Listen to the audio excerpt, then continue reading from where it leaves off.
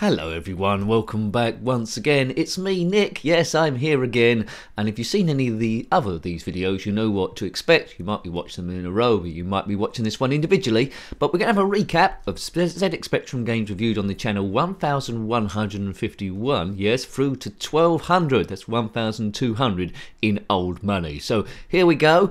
If you uh, like any of the clips, then track down the full video of any of these games. Here we go, baby. We start with the very unrepresented sport of show jumping, this game called show jumping. You try and control this horse over a number of jumps in the correct order and from screen to screen it gets a little bit more complicated and if you do all of them it's on to the next round of fences. An odd subject to pick for sure because I don't know what uh, people into gaming who are also into show jumping. I suppose there'll be some, but it's uh, aiming at a very niche area of the market. But if you want show jumping, well, then go for this one. Then we go to Alter Ego. This was a, a homebrew by Retro Souls. Basically, you control this character going up and down ladders and stuff, uh, and you must get all the uh, the pink things uh, to order to uh, get to the next stage. It's very, very clever in what it does, and anything by Retro Souls is worth checking out. I really like this be quite a few good homebrews in this uh, 50 we're going to have a look at going through. Uh, Starfield in the background there oozes quality all the way through the whole thing. Yes. Cracking Day Out, another one of the Egghead games starring Egghead. I don't think this was fully released uh, back in the day, so it's classed as a sort of a homebrew sort of thing. It was supposed to come out to represent the uh, computer museum somewhere or other, but never happened due to, um, I don't know, internal wranglings about the museum itself. But anyway, it's not the most sophisticated Egghead game uh, there, but they were pretty good near the end. This is a bit uh, before uh, the end ones, but uh, you know, for platforming, it's quite good. Mad Nurse now. This is a very weird hospital. You control this nurse going up and down different floors. And she must put the babies back in the cots because they jump out. You must try and prevent them from hurting themselves on electrical wires and all sorts of uh, anomalies. So, um, yes, I don't think you can get away with this back in the day, but um, or well now I should say, but back in the day everything was fair game, so who cares? 8-bit uh, was a crazy weird world where um, you know complaints were minimal. Jeff and the Blue Notes, based on that guy Jeff Lynne from uh, ELO, he must go around collecting all the notes in every single level. Good music here, uh, good level design as well, quite innovative too, because it's like um, takes away the blockiness of normally you would have the border around the, the sides, lots of curves and stuff. Uh, it's quite tricky in places. Uh, the jumping takes a little bit of getting used to, but it's a it's a cool homebrew, and I think it's worth checking out. You can download this for free on Spectrum Computing and probably a World of Spectrum as well. Uh, Fairlight, one of the classic isometric games back in the day. There's quite a lot to do here, and you'll gradually figure it out through trial and error. Go through this isometric world uh, trying to solve clues, pick up objects, dump them in certain places, and save the uh, day. Music playing throughout the whole thing in the 128 version. Uh, there, I've clicked up a scroll here. Your life meter will go uh, gradually uh, down, but it's not something you would have completed on your first go. I think you only completed it with a guide. Impetus, it's a shooter from Inufuto, not the smoothest or quickest shooter in the world, but uses the standard engine which Inufuto seems to use on all his games. Um, it's been ported to other systems too but I haven't looked at them uh, quite yet. One complaint of this game is it's a little bit too easy because of the slow moving of it, and it's very easy to get out of the way of stuff. There's quite a few uh, extra lives, so better shooters are available, but interesting to see.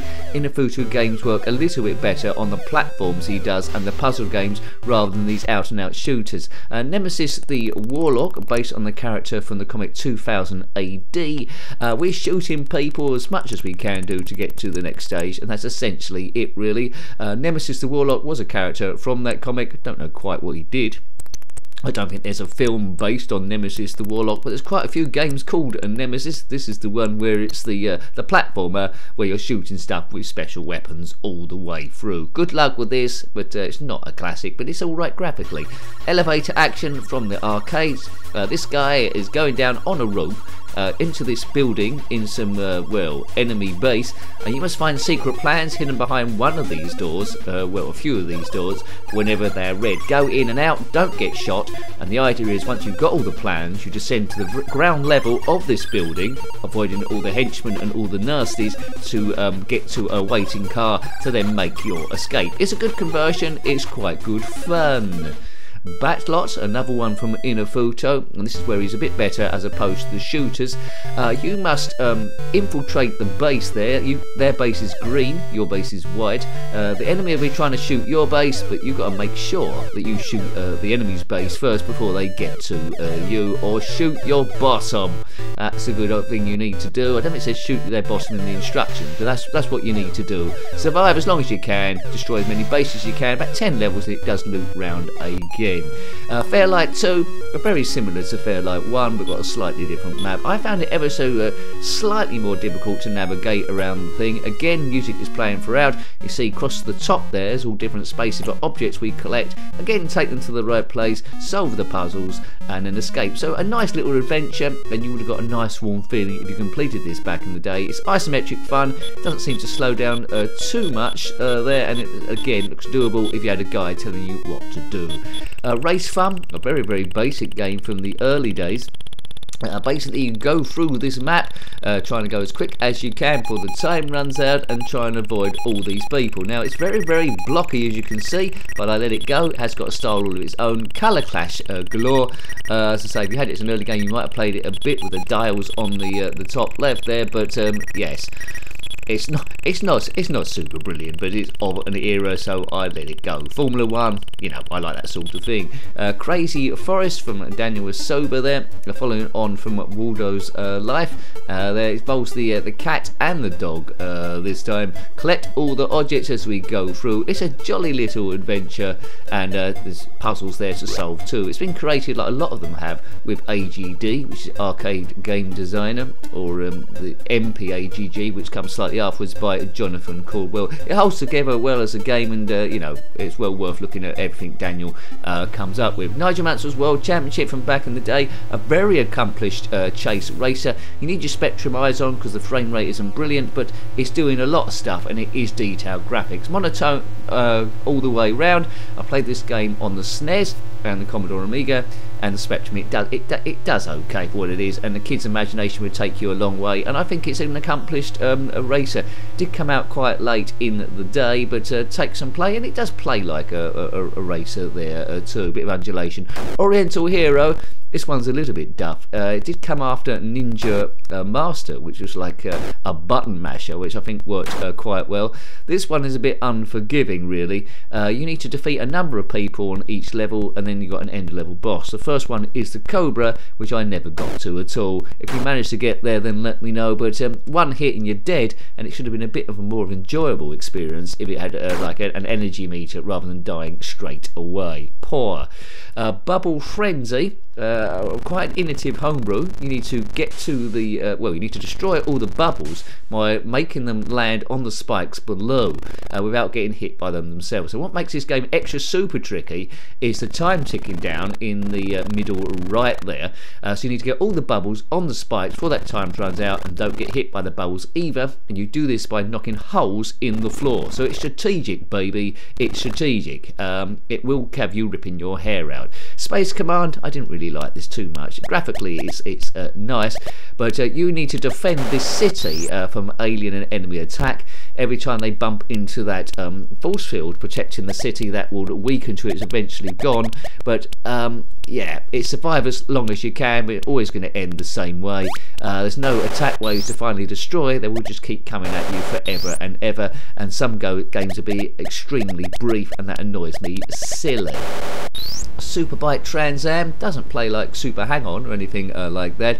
Uh, uses a nice engine though. You can get some massive uh, air by jumping over big obstacles uh, over the platform. But like Super Hang On, if you can get your eyes on where the road is, like Super Hang On, the time is ticking down, and um, you will get um, big changes of colour every time you go through different levels like that. Extended time, the wheel doesn't look like it's moving, but I didn't think it was too bad. Uh, but I prefer Super Hang On, but it's easier than Super Hang On. Uh, Bootskell in a photo again. You see those magenta ghosts that are quite often prevalent in a lot of these games. It's a bit like Pengo, really. Uh, you must, um, from the arcades, you've got to push blocks to kill your magenta assassin, and he'll be trying to do the same to you. As soon as you killed all of them, it's on to the next stage there. And, you know, don't run out of time either. Will get progressively more difficult, but again, doable. I might have completed the game in the review, I can't quite uh, remember. Would have been great in two player, but there's no two player option, just you versus the magenta twits.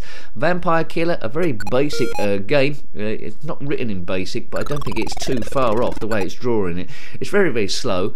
Uh, you've got to kill Count Dracula, who's at floor 12 of this building, and you do that by going up lifts. Now, the annoying bit of this is some of the lifts are fake lifts, uh, some of them got things in that immediately kill you, and um, they kill you so often it makes you think, oh, Dracula can live this time. Maybe I'll just burn the house from outside. Uh, very frustrating, a poor experience. Zombie Zombie uh, this was made with the same engine as Ant Attack, but Ant Attack is the better one of the two.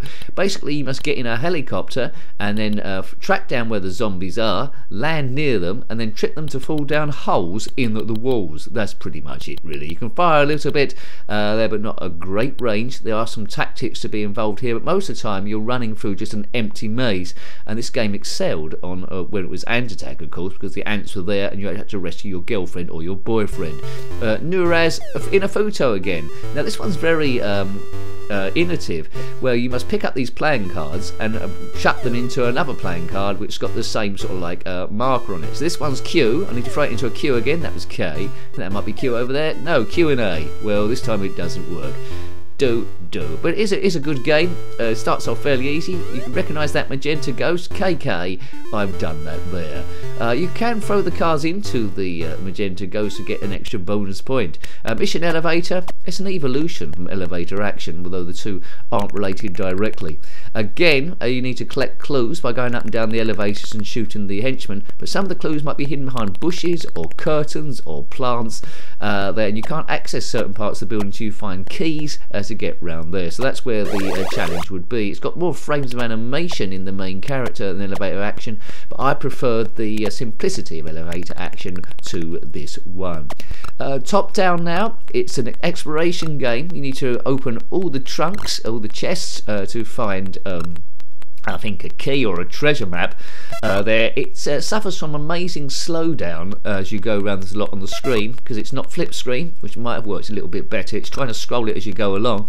But not only have they done that, they've given themselves an almighty task by doing a really detailed background for an 8-bit game. And so the Spectrum struggles to um, move that across. Um, it's, it's quite fun. Uh, Old Tower, another one from Retro Souls. You've got this zippy bloke which uh, goes around and he must collect all the coins there. It's um, You can go upside down on sides. It's all about seeing where you can zip to because uh, you stick like glue without uh, hitting any of the nasties. Now, there'll be some stationary nasties, some nasties will go around the screen trying to kill you. Uh, it scrolls quite well also, and it's good fun. As soon as you've got all the objects, you go through the exit and it's on to the next stage. Old Tower it's one of the better ones. Valley of the Dead. Now, the sounds of this will jar you. It's a Barry Jones special. You must control this hot air balloon through very, very, very narrow caverns. Good luck with that one. I don't think it's going to work too much, but anyway, I got frustrated silly uh, trying to play this game. There, there was one of the sounds, and that would be great. You put the whole thing if you're used to the C5 series, also by Barry Jones. He picks some very odd sounds. You can load different levels though on the tape, but you're getting it pretty much the same result each time. Mad Mix Game is a version of Pac-Man with uh, sort of like special power-ups I suppose. Monochrome again, although the power-ups include being chased by a hippo and also there's a bit where you can like fire like Space Invaders and shoot at the ghosts that way. It scrolls okay for a ZX Spectrum game. I didn't mind it. Uh, it's no uh, replacement for Pac-Man, but at least like unlike all the other clones, it does try and do something a little bit different as well, and it's a it's a good play uh, Maze Death Rally X. Um, this is a homebrew um, of reworking of, of, Rally X from the arcades. Good music playing all the way around. Uh, was converted back in the day as Maze Death uh, Race, I think, which we'll come to in this uh, 50.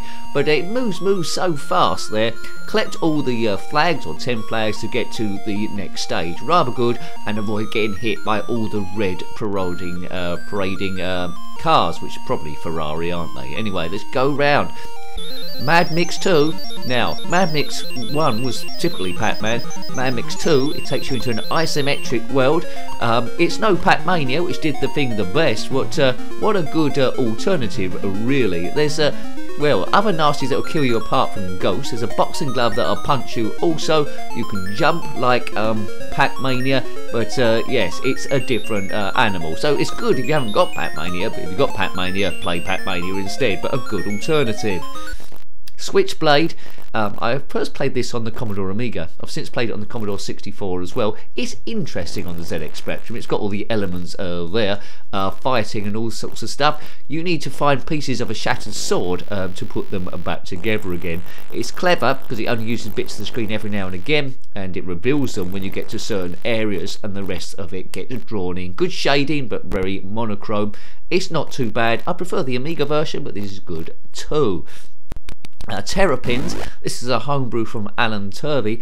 Uh, I was just playing a demo version here, but you control a Terrapin around a Pac-Man like maze and you must rescue all of your babies by hitting the question marks and then taking them to the house, uh, which appears randomly in one of the corners. I'm the green Terrapin going round, the yellow things are chasing me. I've got, we can get one baby at a time uh, and then um, deliver them to where they need to go. That's pretty much it really. It is a challenge. Uh, Striker in the crypts of Trogan, uh, a rather detailed um, platformer uh, there.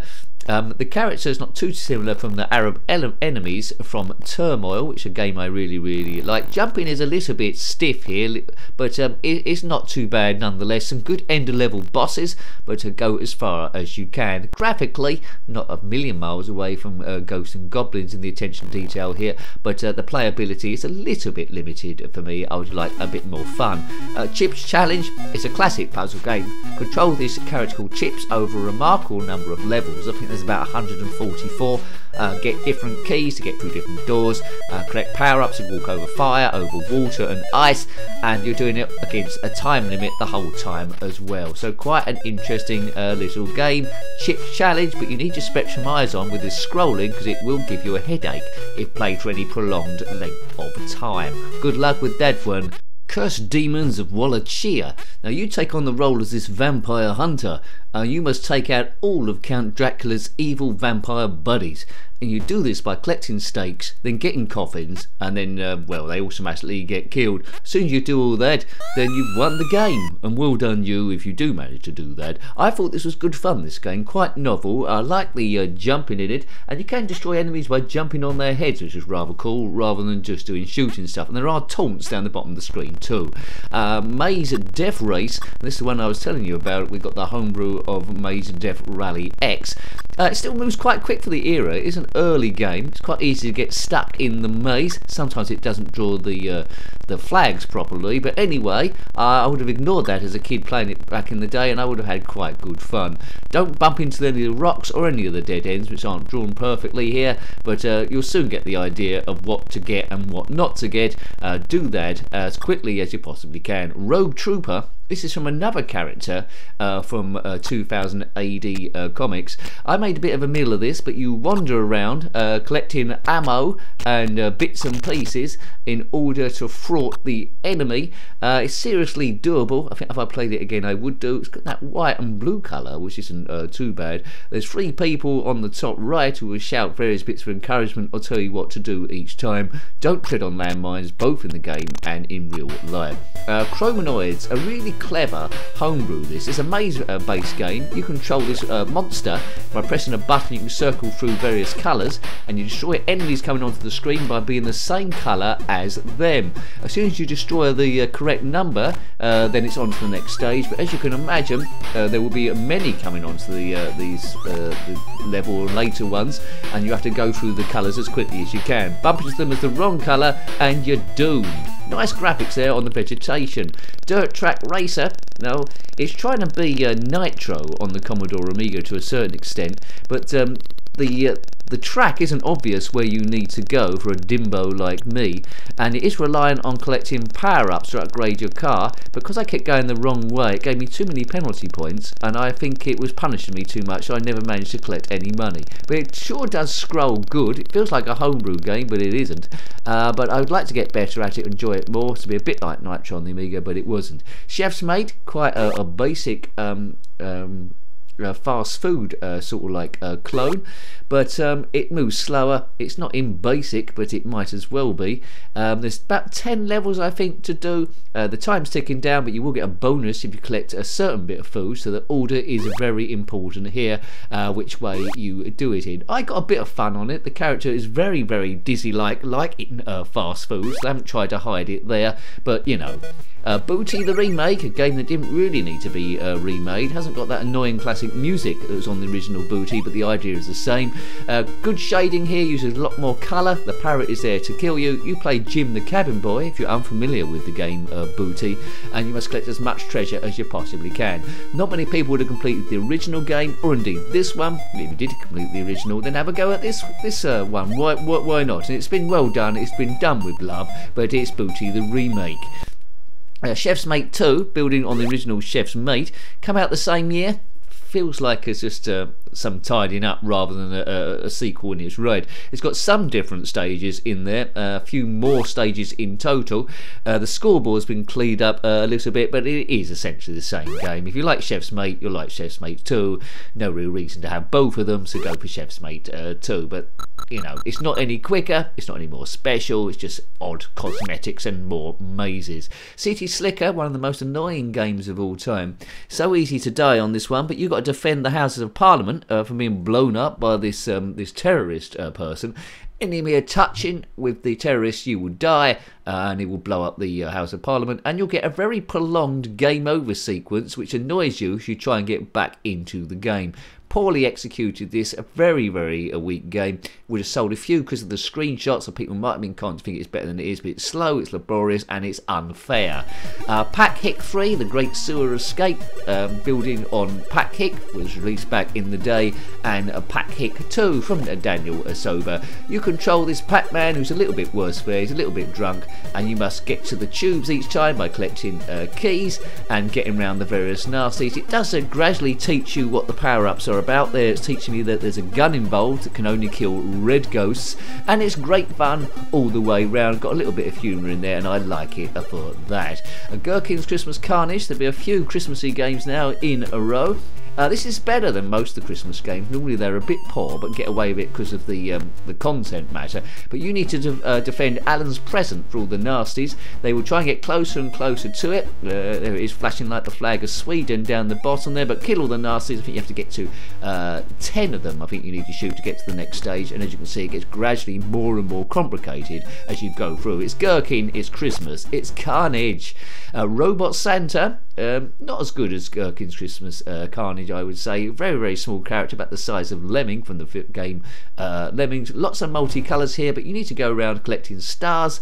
Uh, well, not stars, presents actually, and you can go through these sort of like. Um, uh, air vents as well, which push you um, upwards. Uh, good uh, uh you know, cutesy sort of like graphics, but it did my eyes in a little bit. It wasn't my favourite game, but as a Christmassy way, it's uh, it wasn't bad. It served a sort of like purpose. Xmas Memory, the classic um, pairs matching game. You need to uncover two uh, cards exactly the same.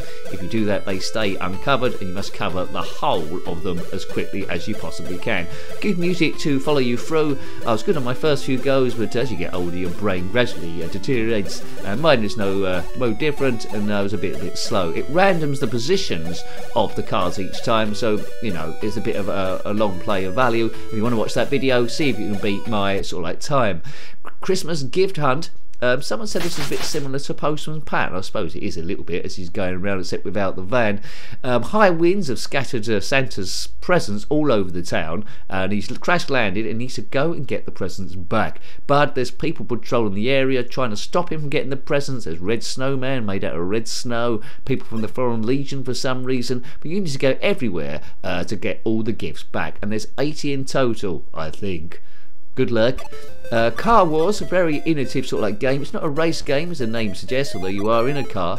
You must go around collecting coins, upgrade your car, but it's, it's basically solving a maze and getting enough coins to unlock stuff. Uh, repair the damage by getting these bonus things. It's very cutesy, it's very, very arcadey. I would have liked this engine to be used as a um, as a pure out racer, but anyway, that's just me. I do like racing games, but this isn't that. It's a puzzle come racer game. There I am bribing, bribing the police and get through that uh, exit point further on. Super Robin Hood. It's not really that super. Uh, the jumping is very, very painful to get onto certain uh, levels. Um, it's it's a pity, really. Um, he, he, can fire his bow and arrow, but uh, why not? He is Robin Hood. That's the bare minimum you expect from Robin Hood. But getting keys, going through doors, but it's, it's very, very unplayable. It's not as bad as City Slicker. Compared to City Slicker, it's a great game, but so so is everything uh, compared to that one. So, and also ran. And the last game we looked at in this selection is Dilithium uh, Lift, uh, not based on the dilithium crystals on uh, Star Trek. Um, basically, I prefer Transversion, but the idea is the same. Uh, go around collecting all of these um, nodes without getting shot by the sentinels on the perimeter. You get extra time by getting those flashing things in any of the corners and the time is a little bit limited to do what you're supposed to be able to do. Yes, yes, yes, it's a puzzle game, it's a game of skill and there we go. So that's the end of that 50 in this sort of range. That was ZX Spectrum games reviewed on the channel 1151 through to 1200 as we gunning towards 2000. Won't that be incredible? So thank you for watching this video as always and good luck if you're going through them in any kind of order. Here's to the uh, next one which I sure will be soon. Until next time take great care of yourself and are very fond. Goodbye. Goodbye.